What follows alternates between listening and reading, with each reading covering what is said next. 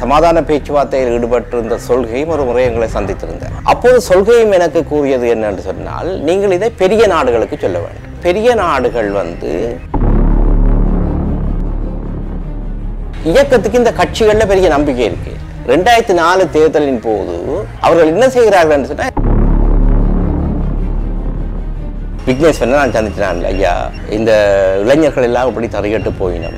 ஒரு எழுச்சியடைந்த இளைஞர்களாக மாற்ற முடியும். அப்போ அவர் சொன்னார் என்னன்னு சொன்னால் உண்மை நான் சந்திக்க போறேன்ற உடனே என்னுடைய ஆட்கள் உண்மை சந்திக்கிறதுல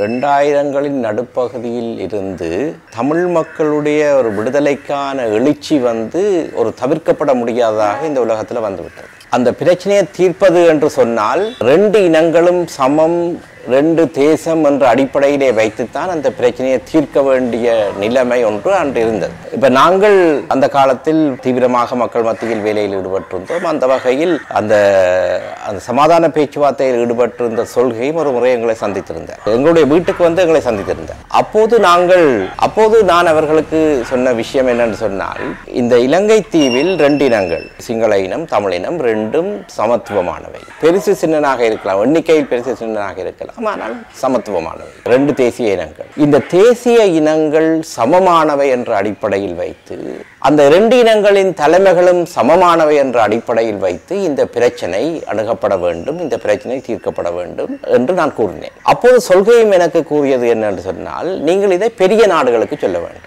ஏனென்று சொன்னால் பெரிய நாடுகள் வந்து இதை ஒரு சிறுபான்மை பிரச்சனையாகத்தான் பார்க்கின்றன. அதாவது தமிழர்கள் ஒரு சிறுபான்மை இனம். அந்த சிறுபான்மை இனத்துக்கு கலாச்சார உரிமைகள் இருக்கு அதை கொடுத்தா போதும் என்றுதான் அவர்கள் பார்க்கிறார்கள். இது ஒரு தேசிய இனம் ரெண்டு தேசங்கள் என்ற அடிப்படையில் அவர் பார்க்கவில்லை. எனவே நீங்கள் உங்களுடைய அந்த லொபி வேலையை பெரிய நாடுகளுடன் மேற்கொள்ள வேண்டும் என்று அவர் கூறினார். ஆனால் அதுக்கு பிறகு மிக விரைவாக எல்லாம் மாறிவிட்டது. தனிய சிங்கள பேரினவாதம் மட்டுமல்ல உலக ஆளும் வர்க்கங்களும் சேர்ந்து இந்த தமிழ் இன அழிப்பை மேற்கொள்வதை தீர்மானம் எடுக்கிறார் அப்ப இதுக்கு பிறகு நடந்ததை கவனிங்க இந்த இன அழைப்பு நடந்ததன் பின்பு நாங்கள் சொல்கிறோம் என்னன்னு சொன்னால் எங்களுக்கு அந்த இன அழைப்பு முடிந்த உடனே எங்களுக்கு தெரியுது என்னன்னு சொன்னால் ஆயுத ரீதியாக அழிக்கப்பட்டிருக்கு ஆனால் இந்த மக்கள் மத்தியில் நடந்த எழுச்சி பொங்கு தமிழ் அது இருக்கு. நாங்கள் இந்த மக்களை ஆட்டுப்படுத்தி எழுச்சி அடைய வைத்து அந்த மக்களுடைய உரிமையை பெறுவது என்ற ஒரு நிலைப்பாட்டில் தான் நாங்கள் இருந்தோம். அப்ப சம்பந்தராக்கள் என்ன செய்யணும் என்று சொன்னால் அந்த எங்களுக்கு சொல்லாமலே பத்மினி அப்போ ஒரு பாராளுமன்ற உறுப்பினராக இருக்கிறார் கஜேந்திரன் பாராளுமன்ற உறுப்பினராக இருக்கிறார் கஜேந்திரகுமார் பாராளுமன்ற உறுப்பினராக இருக்கிறார். அவர்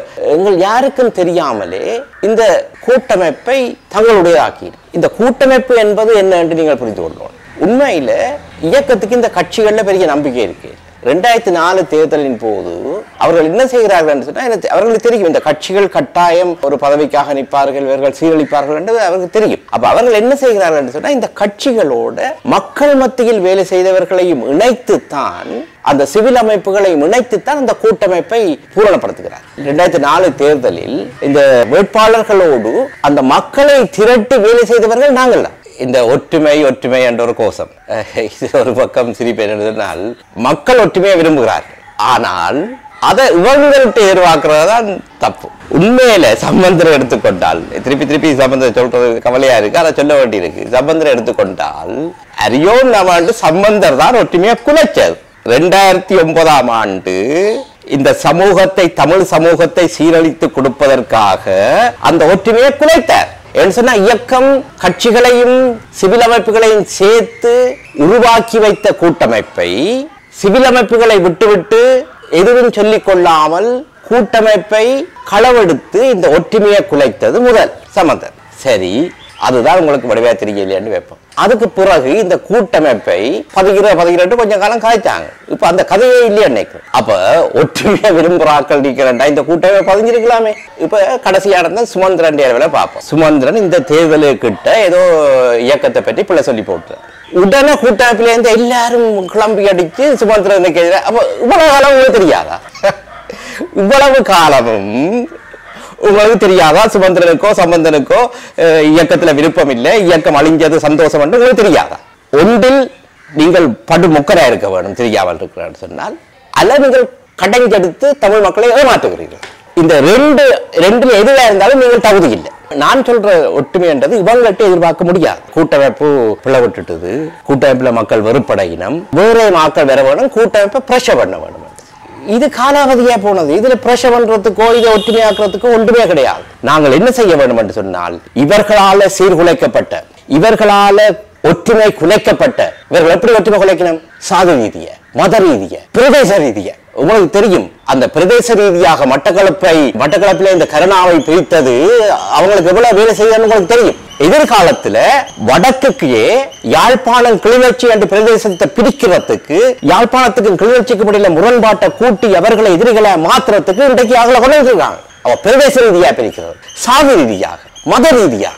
அப்ப மக்களை பிரிச்சு கூறு போட்டு பலரை இந்த அரசியல்ல வெறுப்படைய வைத்து இவர்கள் ஆகிக்கொண்டிருக்கிறார்கள் நாங்கள் என்ன செய்ய வேண்டும் என்று சொன்னால் அடியிலிருந்து துவங்க வேண்டும். இந்த மக்களை ஒற்றுமையாக்க வேண்டும். அந்த மக்களை ஒற்றுமையாக்குற அந்த அந்த ப்ரோசஸ்ல அந்த அந்த முறை வழியில புதிய தலைவர்கள் உருவாகுவார்கள்.